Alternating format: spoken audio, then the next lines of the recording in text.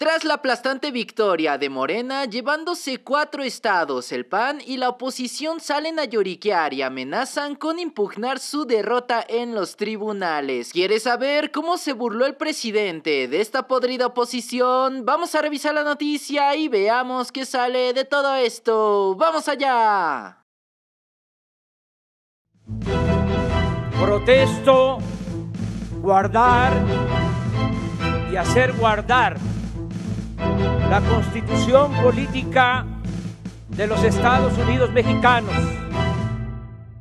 Hola, ¿qué tal ciudadanos? Aquí un ciudadano es conocido una vez más para reportarles el acontecer de la Cuarta República. Pues así es, ciudadanos, como ya era de esperarse, Morena aplastó totalmente a la alianza Va por México, PRI, PAN y PRD. Perdieron absolutamente todo, dejando el camino libre al partido de Morena para poder hacerse con cuatro de seis gobernaturas disponibles en estos comicios de 2022. Sabemos que como reportó el INE, el estado de Tamaulipas, el estado de Hidalgo, Oaxaca y Quintana Roo estarían totalmente confirmadas las victorias de los candidatos de Morena. Américo Villarreal en el estado de Tamaulipas estaría siendo el gobernador de ese estado, sacando por completo al narcogobernador Cabeza de Vaca. De igual manera, Julio Menchaca en Hidalgo estaría siendo el ganador oficial de estas elecciones. Por su parte, Salamón Jara en Oaxaca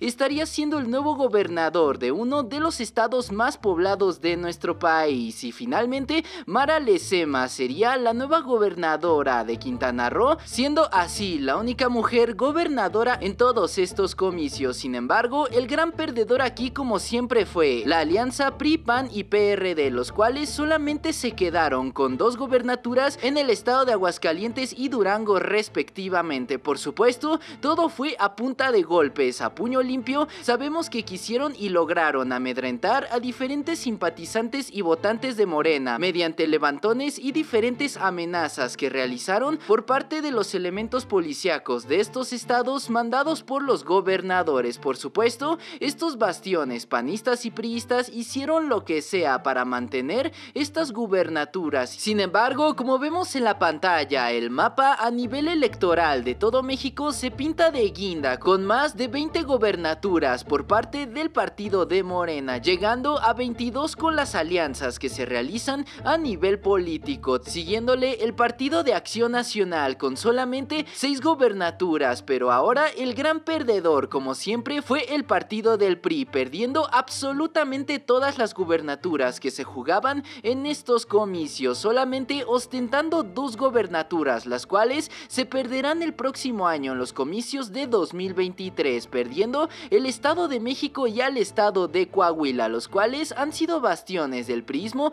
durante muchas décadas. Sin embargo, ciudadanos, así es como se pinta este mapa. Vemos cómo es que Morena crece y va abrazando muchísimo más gobernaturas a lo largo y a lo ancho de todo nuestro país. Esta es una excelente noticia porque como tal Morena pasará a gobernar a más de 12 millones 600 mil personas extra de las que ya gobernaba anteriormente. Por supuesto, por el otro lado, los números de la Alianza Va por México quedan verdaderamente ridiculizados, dado que por el lado del PRD contendían por una gobernatura, la cual perdieron sin ningún remedio, perdiendo de igual manera su registro en más de 5 estados que por supuesto no ganaron en absoluto. El PAN tenía tres gobernaturas, de las cuales perdieron una a manos de Morena, pero el gran perdedor, como ya mencionamos, fue el partido del PRI, el cual tenía dos gobernaturas y las dos las perdió frente al partido del presidente Andrés Manuel. Por supuesto, han perdido absolutamente todo. Sin embargo, ellos mismos como oposición han salido a autoengañarse, a decirle al pueblo que ha sido una derrota de Morena por no haber ganado las seis gobernaturas que se estaban jugando. Por supuesto, esto está muy alejado de la realidad. Morena ha perdido estas dos gobernaturas a punta de fraude electoral por parte del PRI, PAN y PRD. Sabemos que tanto en el estado de Aguascalientes como en Durango eran bastiones del PAN, sin embargo, la presencia de Morena creció significativamente en estados que claramente son son de predominancia panista. Sin embargo, después de esta increíble derrota, pues claro que han salido los líderes de la oposición a querer atenuar esta golpiza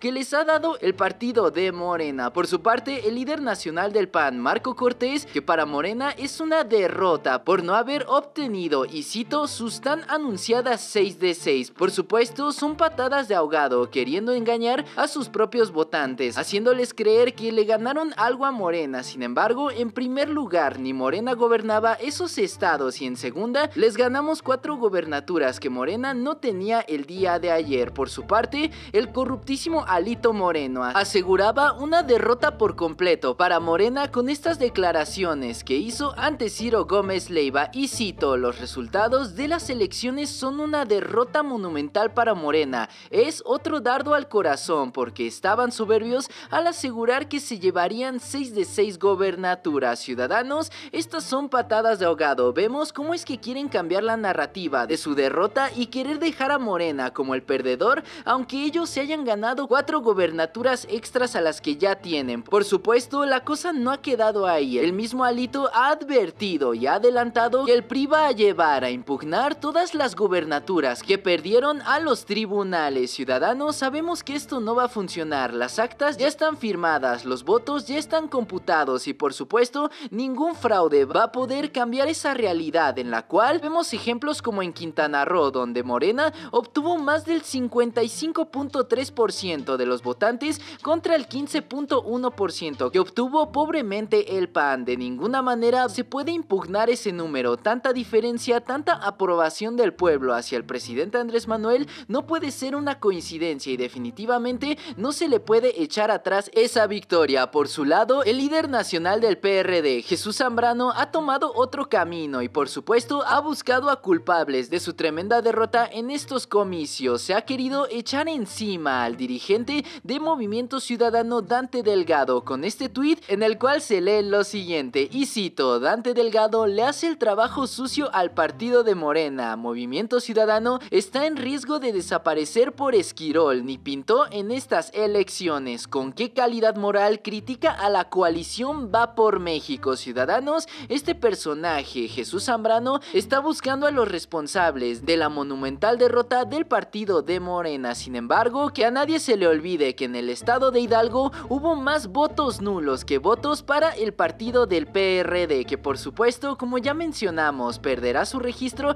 en estos cinco estados. Ciudadanos, este es un verdadero circo que está queriendo armar la Alianza Va por México. Por supuesto, vamos a ver finalmente lo que dijo el presidente Andrés Manuel en conferencia matutina saliendo a festejar la aplastante victoria del partido de Morena, ganando estas cuatro gubernaturas y sumándolas al mapa electoral de todo nuestro país. Vamos a ver cómo es que inclusive se burla de esta alianza Va por México y de todos sus candidatos. Y se niegan a aceptar nuestros adversarios. Yo ya no debería de estarles dando consejos o tendría yo que poner un letrero que toda consulta causa honorario, pero deben de hacer una revisión de su estrategia. Les afecta mucho, se los digo de manera sincera, su clasismo, su racismo.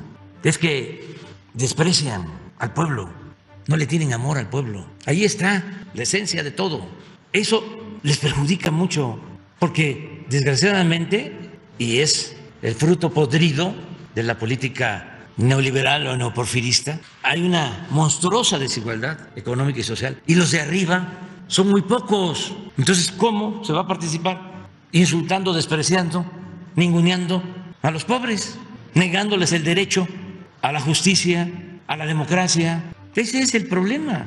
Y apostando, como era antes, a los medios de información y a la manipulación, pensando que el pueblo es tonto, porque para ellos o no existe pueblo y la política es asunto de los políticos y de las élites, o el pueblo no sabe y se le puede dar a tole con el dedo.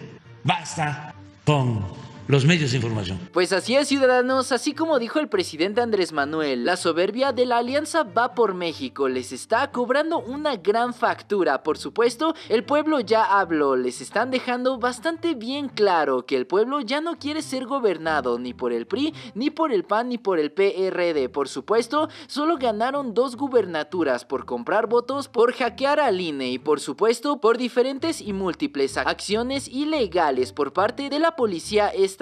Sin embargo, salen a defender como si hubiesen ganado, como si hubiesen arrasado en todas estas elecciones. Sería como presumir una goleada de 4 a 2, aún así perdiendo el partido por completo. Ciudadanos, este es el perfecto ejemplo de cómo es que la oposición se va desvaneciendo, se va diluyendo en el mapa electoral de todo nuestro país. Ya veremos en los próximos años cómo es que van desapareciendo y por supuesto se va pintando de guinda todo el país, todos los estados. Enhorabuena, ganamos 4 de 6. Por supuesto, nos hubiese gustado ganar esas dos gubernaturas. Sin embargo, aún así es un excelente panorama para Morena y para la cuarta transformación, la cual estará llegando a cuatro nuevos estados en nuestro país a millones de mexicanos. ¿Ustedes cómo ven la situación, ciudadanos? ¿Qué les parece esta aplastante victoria y arrastrada de parte de Morena hacia la alianza Va por México, PRIPAN y PRD? ¿Ustedes creen que vayan a desaparecer en los próximos años?